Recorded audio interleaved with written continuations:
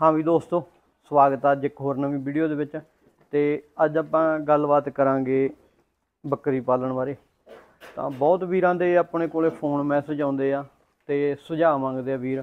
ਤੇ ਅੱਜ ਆਪਾਂ ਗੱਲਬਾਤ ਕਰਾਂਗੇ ਬੱਕਰੀਆਂ ਬਾਰੇ ਵੀ ਕਿੰਨੀਆਂ ਬੱਕਰੀਆਂ ਤੋਂ ਕੰਮ ਸ਼ੁਰੂ ਕਰ ਸਕਦੇ ਆ, ਕਿੰਨਾ ਇਸ ਕੰਮ ਦੇ ਵਿੱਚ ਪ੍ਰੋਫਿਟ ਆ ਤੇ ਕਿਸ ਤਰ੍ਹਾਂ ਤੁਸੀਂ ਬੱਕਰੀ ਪਾਲਣ ਨੂੰ ਕਰ ਸਕਦੇ ਹੋ।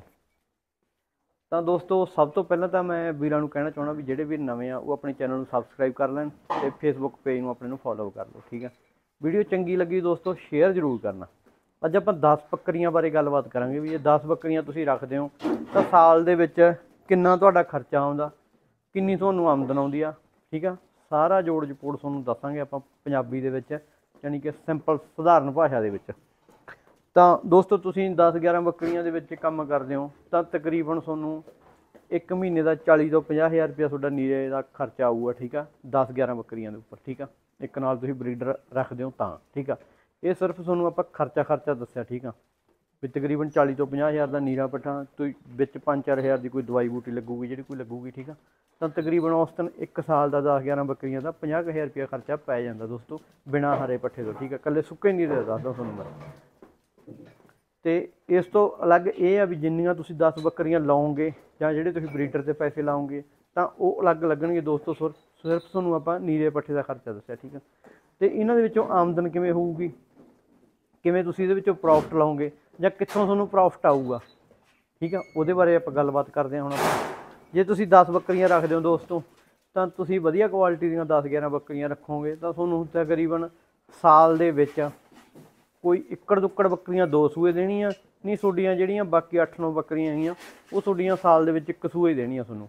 ਕੋਈ ਇੱਕ ਅੱਧੀ ਬੱਕਰੀ ਹੁੰਦੀ ਆ, ਜਿਹੜੀ ਦੋ ਸੂਏ ਦੇ ਦਿੰਦੀ ਆ, ਨਹੀਂ ਤਕਰੀਬਨ ਸਾਰੀਆਂ ਬੱਕਰੀਆਂ ਇੱਕ ਇੱਕ ਸੂਆ ਹੀ ਦਿੰਦੀਆਂ। ਠੀਕ ਆ? ਤੇ ਇਹਦੇ ਵਿੱਚ ਇਹ ਹੁੰਦਾ ਦੋਸਤੋ ਵੀ ਜੇ ਤੁਹਾਡੇ ਕੋਲ 10 ਬੱਕਰੀਆਂ 10 ਨੇ ਜੇਕਰ ਤੁਹਾਡੀਆਂ ਨੇ, ਮੰਨ ਲਓ ਵੀ ਸਹੀ ਟਾਈਮ ਤੇ ਇਹ ਬੱਚੇ ਦੇਣ ਲਈ ਤਿਆਰ ਹੁੰਦੀਆਂ ਗਈਆਂ ਠੀਕ ਆ? ਤਾਂ ਤਕਰੀਬਨ ਵਿੱਚ ਬੱਕਰੀਆਂ ਇੱਕ ਬੱਚਾ ਦਿੰਦੀਆਂ, ਵਿੱਚ ਦੋ ਦਿੰਦੀਆਂ, ਚਲੋ ਕੋਈ ਟਾਮੀ ਤਿੰਨ ਵੀ ਦੇ ਦਿੰਦੀ ਆ। ਤਾਂ ਔਸਤਨ ਆਪਾਂ ਲਾ ਕੇ ਚੱਲੀਏ 10 ਬੱਕਰੀਆਂ ਦੇ, ਤਾਂ ਘੱਟ ਤੋਂ ਘੱਟ ਆਪਾਂ ਲਾ ਕੇ ਚੱਲੀਏ 16 17 ਮੇਮਣੇ ਬਣਦੇ ਆ, ਠੀਕ ਆ। ਜੇ ਆਪਾਂ ਵਿੱਚ ਇੱਕ ਵੀ ਲਾਉਣੇ ਆ, ਦੋ ਵੀ ਲਾਉਣੇ ਆ ਜਾਂ ਕੋਈ ਕਦੀ ਤਿੰਨ ਵੀ ਦਿੰਦੀ ਆ, ਚਲੋ ਵਿੱਚੋਂ ਕਈ ਬੱਕਰੀਆਂ ਇੱਕ ਵੀ ਦੇ ਦਿੰਦੀਆਂ ਤਾਂ ਔਸਤਨ ਆਪਾਂ ਲਾ ਕੇ ਚੱਲਦੇ ਆ 16 17 ਮੇਮਣੇ 16 17 ਦੇ ਵਿੱਚੋਂ ਤਾਂ ਤੁਸੀਂ ਦੋ ਮੇਮਣੇ ਮੰਨ ਕੇ ਚੱਲੋ ਵੀ ਤੁਹਾਡੇ ਲਾਸ 'ਚ ਹੀ ਪਾਲੋ ਕਹਿਣ ਦਾ ਭਾਵ ਕਈ ਵਾਰੀ ਕੋਈ ਬੱਕਰੀ ਫਲ ਛੱਡ ਦਿੰਦੀ ਹੈ ਜਾਂ ਕੋਈ ਮੇਮਣਾ ਮਰ ਜਾਂਦਾ। ਤਾਂ ਦੋ ਮੇਮਣੇ ਤੁਸੀਂ ਉਸ ਖਾਤੇ 'ਚ ਕੱਢ ਦਿਓ, ਠੀਕ ਹੈ? ਤੁਹਾਡੇ ਕੋਲ 15 ਮੇਮਣੇ ਜਾਏ 17 ਮੇਮਣੇ ਆਉਂਦੇ ਆ। ਤਾਂ 15 ਮੇਮਣੇ ਜੇ ਤੁਸੀਂ 2 ਮਹੀਨਿਆਂ ਦਾ ਕਰਕੇ ਵੇਚਦੇ ਹੋ ਮੇਮਣਾ, ਤਾਂ ਤਕਰੀਬਨ 6000 ਤੋਂ 7000 ਦੇ ਵਿੱਚ ਵਿੱਚ ਵਿਕੂਗਾ, ਚਾਹੇ ਉਹ ਪੱਠ ਚਾਹੇ ਬੱਕਰਾ, ਠੀਕ ਆ? 6-7000 ਰੁਪਏ ਦੇ ਘਰਾਂ 'ਚ ਲਾ ਕੇ ਉਹਨੂੰ 6000 ਦੇ ਵੀ ਲਾਉਣੇ ਹੋ ਤੁਸੀਂ 15 ਛੀਕਾ 90000 ਰੁਪਏ ਤੁਹਾਡਾ 1 ਸਾਲ ਦੀ ਆਮਦਨ ਬਣਦੀ ਹੈ ਠੀਕ ਆ? ਤਾਂ 90000 ਦੇ ਵਿੱਚੋਂ ਤੁਸੀਂ 50000 ਰੁਪਏ ਤੁਹਾਡਾ ਨੀਰੇ 'ਚ ਲੱਗ ਗਿਆ, ਤਾਂ 1 ਸਾਲ ਦੀ ਤੁਹਾਡੀ 40000 ਰੁਪਏ ਦੋਸਤੋ ਆਮਦਨ ਆਊਗੀ, ਠੀਕ ਆ? ਤਾਂ ਮੈਂ ਇਹਨੂੰ ਆਮਦਨ ਨਹੀਂ ਗਿਣਦਾ ਇਸ 40000 ਨੂੰ। ਕਿਉਂ ਆਮਦਨ ਦੇ ਵਿੱਚ ਤਾਂ ਨਹੀਂ ਗਿਣਦਾ ਮੈਂ?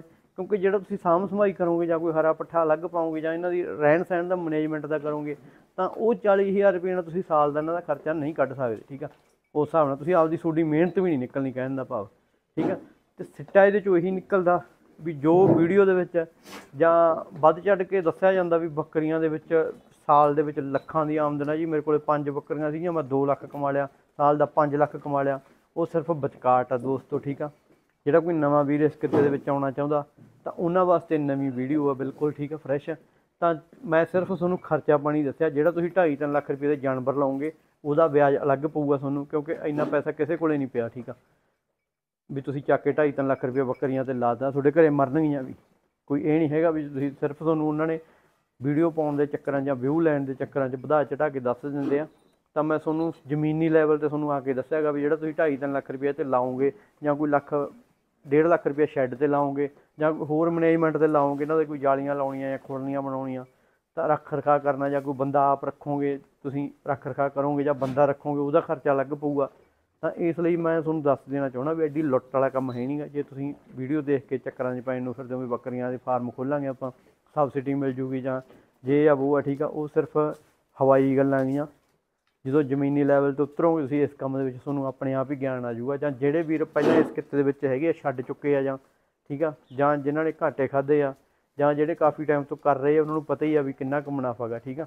ਤਾਂ ਇਸ ਲਈ ਆਪਣੀ ਇਹ ਵੀਡੀਓ ਉਹਨਾਂ ਬੰਦਿਆਂ ਵਾਸਤੇ ਸੀਗੀ ਵੀ ਜਿਹੜੇ ਸਿਰਫ ਵੀਡੀਓ ਦੇਖ ਕੇ ਇਸ ਕੰਮ ਦੇ ਵਿੱਚ ਆਉਣਾ ਚਾਹੁੰਦੇ ਆ, ਠੀਕ ਆ। ਐਡਾ ਲੁੱਟ ਵਾਲਾ ਕੰਮ ਨਹੀਂ ਹੈਗਾ, ਠੀਕ ਆ ਇਹ।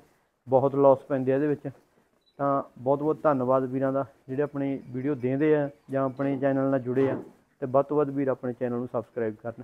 ਕਿਉਂਕਿ ਆਪਾਂ ਤੁਹਾਡੇ ਤੱਕ ਸਹੀ ਸਟੀਕ ਜਾਣਕਾਰੀ ਲਿਆ ਸਕੀਏ। ਧੰਨਵਾਦ